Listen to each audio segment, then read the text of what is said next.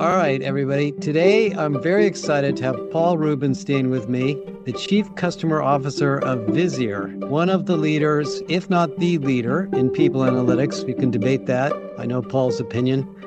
And Paul's going to tell us about some stuff going on in people analytics and some research that we're just about to launch that you may have read by the time you listen to this about the maturity model and the evolution of people analytics. Paul, tell us a little bit about your job and just quickly your work experience because you've had a lot of interesting career experience leading to this. Thanks, Josh. Well, first of all, hi, happy Friday afternoon or whenever this is being recorded. Yeah, it's been a crazy road for me.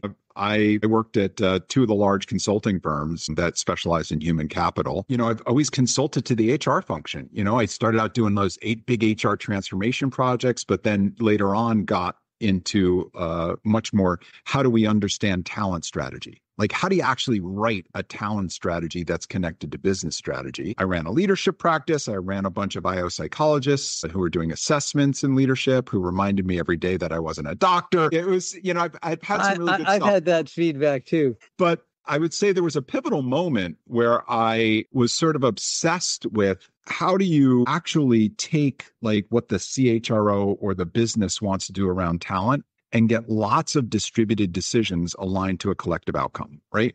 How do you write a talent strategy that's granular and specific enough to make better people decisions. And I, at the same time, I found myself on my journey, like learning all about people analytics in the early days. And I met the Visier team. And as I was working on how you write talent strategy, the question was, are you measuring the execution of it? Okay.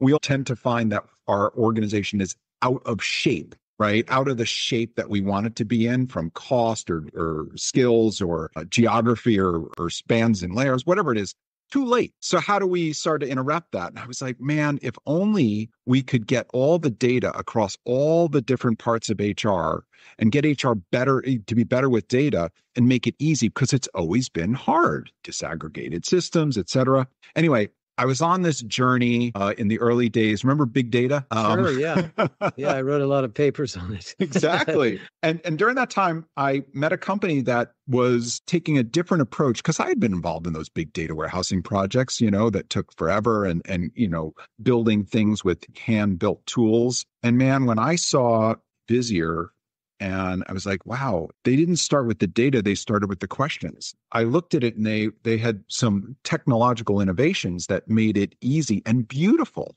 And I looked at this and I said, for the first time, this was an investment in HR that wasn't about the efficiency of HR, which is how HR has always spent money, but it was about elevating the pattern recognition and storytelling capability of HR so that it was actually insights. To me, the first time this was about recommending to HR spending money on tech that wasn't labor arbitrage. And quite frankly, I saw this as the beginning of a change in the market that said, okay, record keeping, you've reached your limit in the return on investment. Now it's time to tell stories with data and help everyone make better decisions. And quite frankly, I looked at this and I said, this doesn't even belong in HR, it belongs to the people managers. It belongs to, you know, outside of HR. It had tremendous value. Anyway, Josh, long story short, I fell in love with the company so much. I quit my job. I joined first in what they called value engineering, obsessed with the moment people see new data, do they make a better decision? How should HR think about investing differently than they used to? Not thinking of total cost of ownership, but thinking about business impact through some strange set of events. I spent five years as head of HR, which was, you know, my sort of first non-commercial at Visier, yeah, right. which was, you know, learn to practice what you preach, experimentation, but also still helping a lot of customers. And then a year and a half ago, I think it's been, I went back to run um, what we call customer success here, which is all of our consulting, all of our support, all of our making the software actually deliver value to our customers. So it's been a really privileged journey to be inside people analytics from the moment 10, 12 years ago when it was just really coming to scale and getting to operate in a living laboratory and seeing it mature. Well, Thank you, Paul, because I've been involved in this space for a similar long time. But I'm still seeing from the research we just finished with you guys a fairly low level of maturity in a lot of companies in learning how to use data to make better people decisions and business decisions. What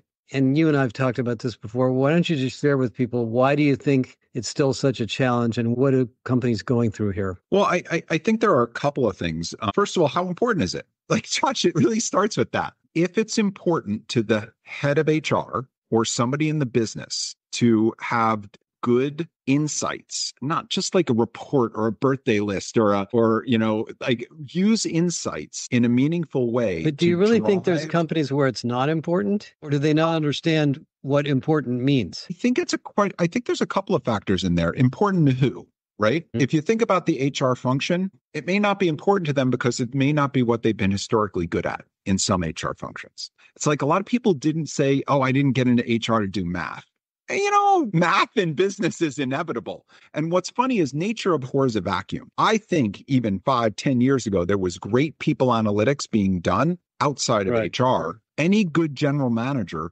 would take that HR data that they would scrape in a spreadsheet and they'd mash it up with their production data or their financial data, et cetera, to do some sort of productivity or workforce optimization, right?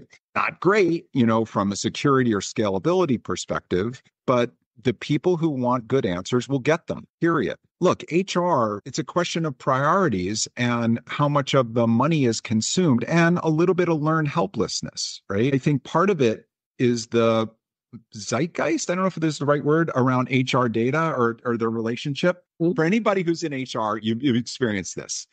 You get a question from the business, you go to your comp person or your HRIS person, you get a report because you want to talk about a trend. You go in front of that business leader, and the first thing they do if they don't like the data, if they don't like the trend, they say, I question the data. I don't believe you. Yeah, that data is wrong. You. And then, you know, you have this whole going back and forth to, you know, to shepherd the data and prove it out. And quite frankly, by the time you can convince them that your data is better than their assumption, the moment of impact has passed. Okay. I'll tell you who doesn't put up with that crap the CFO. Nobody from FP&A or the CFO shows up with a trend line and the business leader says, "I think you have all the general ledger uh, information wrong," you know? So I'm not going to take your observation on cutting costs. Come on, Josh, that doesn't fly. You know, there's another there's another dimension I Paul you and I've talked about, which is that some HR functions define themselves as service delivery functions, not strategic consulting functions so they don't try hard enough to correlate the, the data to the business what you, we just talked about that what's your perspective on that i think obviously i, I believe it's changing I, you know the yeah. leading functions do do that but you know you think about the role of the hr business partner i actually think that the great ones are good at pattern recognition the mm-hmm. great ones are good at seeing around corners. They're actually naturally good at people analytics. They just don't know it. So I think there's a lot of hope and I think on the whole, the organizations, I mean, it's where the study starts to pan out. The people right. who focus on on data-driven decisions, the people who invest in people analytics are outperforming those who don't. Let me get to another topic. Sure. One of the objections you hear all the time from companies about analytics is, well, we just put in Workday, we just put in SAP, we just put in Oracle. We can't really do that kind of work till we get all the data cleaned up, right? Is it fair to say there's no excuse for that anymore? There, there isn't. It is your data will never be perfect. Anybody who's looking for zero noise data doesn't live in the real world. I mean, that's just the reality of it. And by the way, HR data by its very nature is not, it doesn't have FASB, it doesn't have GAAP, it will right. never be as clean. You're you you live in a world of retroactive restatements, et cetera. Oh my God, have you ever seen recruiters record uh, ATS data? Somebody was interviewed and hired on the same day. That not doesn't reflect reality. You have to understand, um, you know, how to interpret the data, not fight it for this, you know, ideal perfection. You can still use it to set a compass and hold people accountable for the decisions they make. Well, you know, given given that maybe it is much much easier to get access to the data, especially if you have Visier. One of the other symptoms of the challenge that I've seen is the people analytics group. Sometimes it reports to IT, sometimes it reports to HR IT. Let's talk about systemic HR and how you think companies should organize this whole well, initiative. I, think before we go there, Josh, actually, can yeah. we zoom out on that? Because it's really yeah. interesting where, where you were going there. I, we're seeing a change. If you roll back the time machine you know 10 years the first people analytics functions i think were two things they were science projects. Right. We all le- learned about the legend There's of Google lot- and answer factories. Hey, we're going to come to you with a question, give us an answer.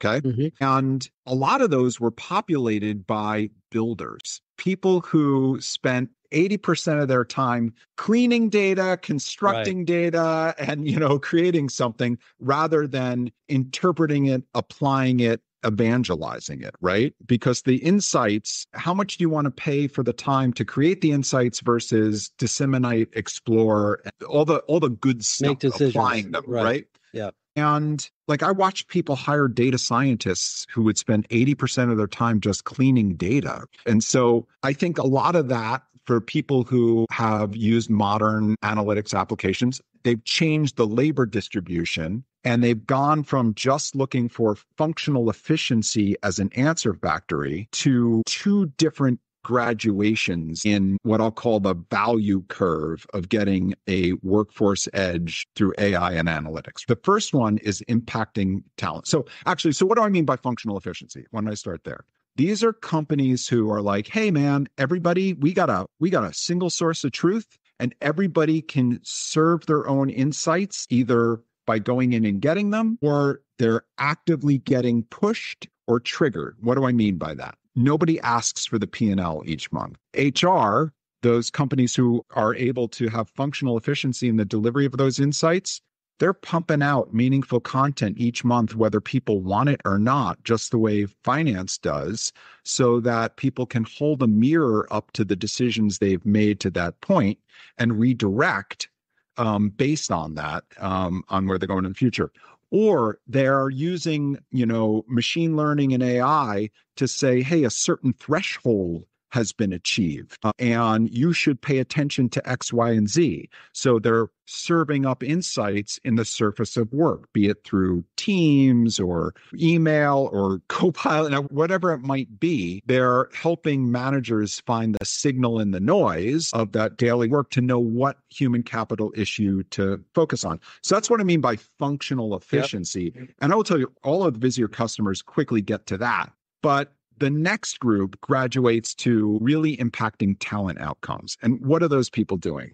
They're not an answer factory. They have a point of view on the content that people should be looking at. And it's really looking at it could be something as simple as turnover or uh, performance risk or exit risk or whatever it might be. And they are taking those basics and they're distributing beyond HR. Those are people who recognize that talent decisions aren't made inside of HR, they're made outside of HR, and they're using the data to do that.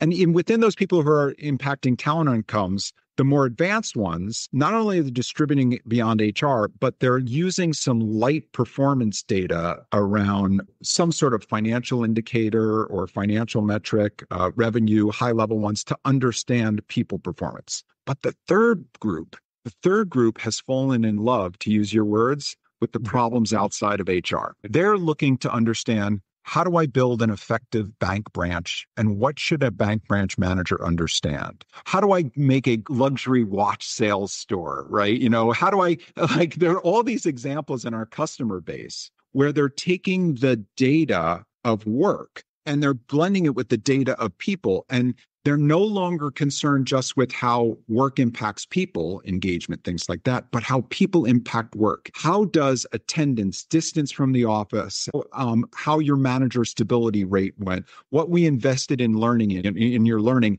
impact same store sales, team profitability, whatever that is. And I would say about 25% of our customers have achieved that, um, that final tier and more and more are moving up um, as they do that we have a customer that is loading their entire all their general ledger data into the Visier environment because they want to search for the connections between people and financial outcomes hmm. in a more deep way. And that's a whole new world. And I, I people think that's going to become common with AI.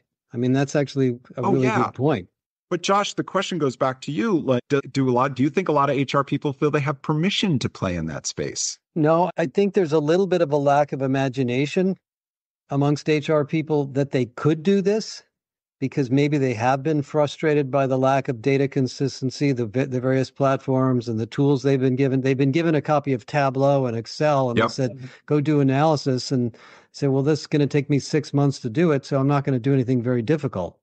I mean, uh, this gets back to my next question. My perspective on this is that the AI based analytics, like what you guys are doing and others, is mm-hmm. so advanced that we have to ratchet up our level of imagination as to what we can look at. Every every people analytics leader I talk to in our customer base, especially the advanced ones, they're like, "Yeah, my job's going to change. The function's going to change. AI is changing it. It changes it in so many ways. I'll give you the easy ones first. And then we're seeing this with the early customers of Vee. And, you know, this is not an ad, but if anyone hasn't seen it, please just call us. You, sh- you shouldn't need a decoder ring to understand HR data, you know, the secret decoder ring. You should just be able to go into a system and say, You got to go through the metadata book and read the whole book first before you know what the data all means, right? And it's funny because HR people often have a skewed view on this because the language that they use every day, people outside of HR only use once in a while. So, hey, what is my turnover?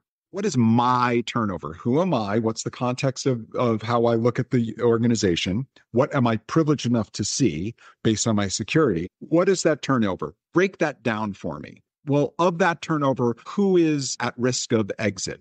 Think of that back and forth that used to happen with a people analytics analyst. That would have been two weeks of well, back and forth. You know, exactly. I mean, I think the bigger scenario is the one you mentioned just a minute ago. We're losing money in this business unit. What could be the contributors to that that might exactly. have to do with overtime or errors or whatever. Which employees am I getting the best bang for the buck on the dollars right. we spend? Right. right. Right. You know, there's a common language. But what's interesting is it's appreciative inquiry. It's right. built for the way and talked about collapsing speed to impact for HR and extending HR's reach so that everyone makes better decisions. AI allows the HR to change its delivery model in new ways and extend its reach, especially to the people who actually don't want to talk to HR. So the first one is this notion of inquiry. The second one, seeing the unseen, anomaly detection, things like that. You look at a graph and chart, it might look fine, but how do you very quickly understand what is aberrant underneath it? Where should you spend your time and attention? The third is who should I talk to when something is going wrong? Knowing who is responsible, who is the right person, and AI alerting you. And then, of course, there's the entire authentic discussion, digital twins, yeah. et cetera, yeah. which and this is the real irony for HR. Why wouldn't Vee just wake up every day and say, here's some anomalies you should look into that I discovered on your behalf? That's what's happening. So, so you and I, like, okay, so you and I did this seven, eight Last months May. ago. Yeah. Right. Remember? And we goofed together. Hey, here is, uh, and we prototyped it and it works. Connected but it was Galileo like, hey, this person's at this person's at risk of leaving, or or this person left, right. so these other people. Here's the contagion effect. Right. Here's how, and then it took it all the way through to how do you have a stay conversation with that person? That's the right. future. Exactly. no, that that's the the Vee Galileo integration we've been doing. A couple more quick questions. One, one of the one of the tricky ones for you guys. I want to I want to give you a chance to talk about this. Workday, mm-hmm. SAP, Success Factors, mm-hmm. Oracle claim to be able to do what you guys do out of the box.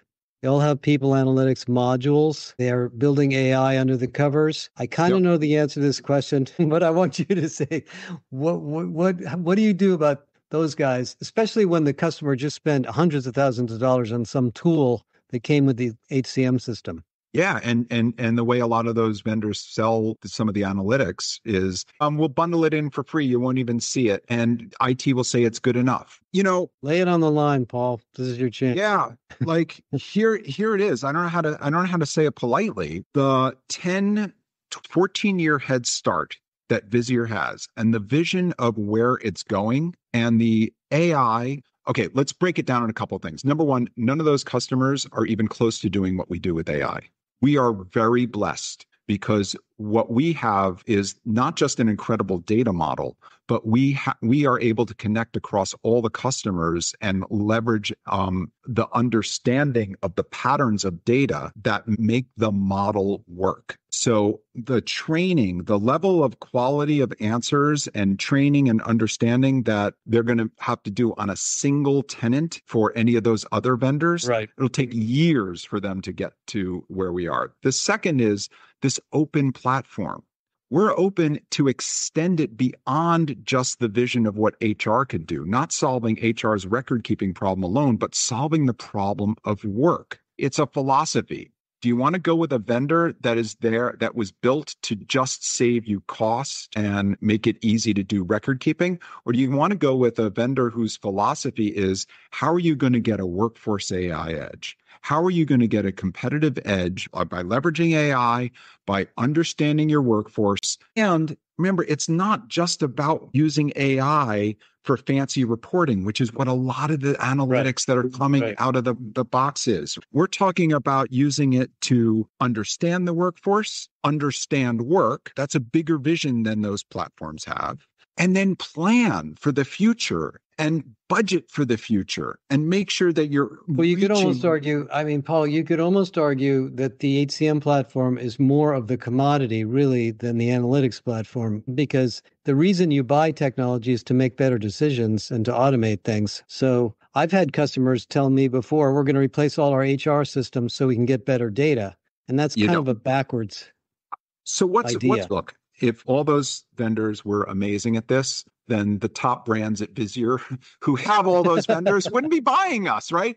You know, right. like I get it. Don't listen to your salespeople. Talk to customers is is my advice to everyone. But again, okay. I don't want to make this a commercial for no, Visier no, I just, alone. I just want to give there's you a, a, chance to talk about it yeah, for a minute. But yeah. I think there's a bigger point here, Josh, which is what is going to be the tech that you spend that's differentiating versus commodity? Which are you going to spend as the head of HR or the head of IT on this stuff that is about managing cost and compliance and risk versus unearthing the insights that drive right. business? That competitive edge, that workforce edge that you need from those insights and that and, and the AI. I respect all those vendors they are adding features that are good enough for minimum viable products as quickly as possible because they have a financial incentive to squeeze out every other innovative vendor in the world because a lot of software vendors aren't growing new logos. They have to just expand within the footprint they have and they're desperate to retain it. I respect that. But sameness does not yield greatness in your tech stack you have to leave room for innovation and agility. We saw this cycle a long time ago. If you get locked into one vendor, and they aren't innovating fast enough, you get left behind and HR gets left behind the needs of the business. That tech stack agility becomes really important. The second thing is all of those big HCM vendors were supposed to drive down your total cost of ownership over time. I wrote those business cases when I was a consultant, and that is that's not actually proved to be true. The staff you have to run it has gone up in price and complexity, and the teams have gotten bigger over time, et cetera. What's beautiful about the type of software that Visier is and Visier itself is it allows you platform agility. It allows you to turn around and say, hey, I only need cheap and cheerful for my transaction systems. My right. I need to rebalance my portfolio to spend more on the system systems work. And by the way, when I acquire a new company, I don't want to have to change or integrate. I can leave them on their own cheap and cheerful systems as long as the layer, these insight layers, Visier, becomes like the swan looking above the above the lake because people want consistency in their trends and data. People want to not have to restate things just because you move to a new system.